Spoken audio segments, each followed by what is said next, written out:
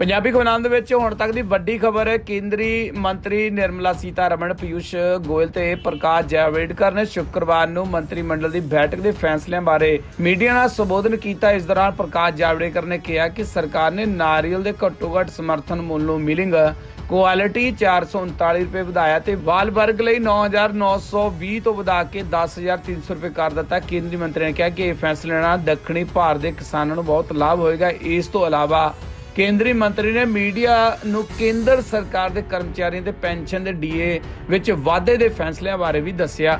ਵਿੱਤ ਮੰਤਰੀ ਨਿਰਮਲਾ ਸੀਤਾਰਮਣ ਨੇ ਕਿਹਾ ਕਿ ਕੈਬਨਿਟ ਨੇ ਯੈਸ ਬੈਂਕ ਦੇ ਮੁੜ ਨਿਰਮਾਣ ਲਈ ਆਰਬੀਆਈ ਵੱਲੋਂ ਪ੍ਰਸਤਾਵਿਤ ਯੋਜਨਾ ਨੂੰ ਮਨਜ਼ੂਰੀ ਦੇ ਦਿੱਤੀ ਹੈ। ਇਸ ਅਨੁਸਾਰ ਐਸਬੀਆਈ ਯੈਸ ਬੈਂਕ ਵਿੱਚ 49% ਦੀ ਸ਼ੇਅਰ ਦਾ ਨਿਵੇਸ਼ ਕਰੇਗੀ। ਵਿੱਤ ਮੰਤਰੀ ਨੇ ਕਿਹਾ ਕਿ ਜਮ੍ਹਾਂ ਕਰਨ ਵਾਲਿਆਂ ਦੇ ਹਿੱਤਾਂ 'ਚ ਯੈਸ ਬੈਂਕ ਦੀ ਸਥਿਰਤਾ ਨੂੰ ਇਸ ਯੋਗ ਇਸ ਯੋਜਨਾ ਦੇ ਕੇਂਦਰ ਵਿੱਚ ਰੱਖਿਆ ਜਾਵੇਗਾ।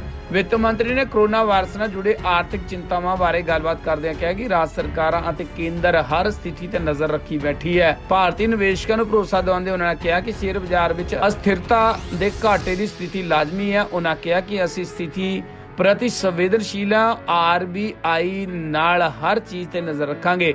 ਕੇਂਦਰੀ ਮੰਤਰੀ ਪ੍ਰਕਾਸ਼ ਜਾਵੜੇਕਰ ਨੇ ਕਿਹਾ ਕਿ ਸਰਕਾਰ ਨੇ ਰਾਸ਼ਟਰੀ ਰਾਜਮਾਰਗ 780 ਕਿਲੋਮੀਟਰ ਦੇ ਪੱਧਰ ਨੂੰ ਅਪਗ੍ਰੇਡ ਅਪਗ੍ਰੇਡ ਕਰਨ ਦੀ ਪ੍ਰਵਾਨਗੀ ਦੇ ਦਿੱਤੀ ਹੈ। ਇਹ ਸੂਰਜੀ ਉਪਕਰਨਾਂ ਅਤੇ ਰੀਸਾਈਕਲਿੰਗ ਪਲਾਸਟਿਕ ਰਾਹੀਂ ਵਾਤਾਵਰਣ ਨੂੰ ਸਹਾਇਤਾ ਕਰਨ ਵਿੱਚ ਫੋਕਸ ਕੀਤਾ ਜਾਵੇਗਾ। ਪੰਜਾਬੀ ਖਬਰਾਂ ਦੇ ਵਿੱਚ ਵੱਡੀ ਖਬਰ, ਹੋਰ ਖਬਰਾਂ ਦੇਖਣੀ ਸੁਣੀਆਂ, ਪੜ੍ਹਨੀਆਂ ਤਾਂ ਬਣੇ ਰਹੋ ajnewswala.com ਦੇ ਨਾਲ। ਕੀ ਤੁਸੀਂ ਪਰੇਸ਼ਾਨ ਹੋ?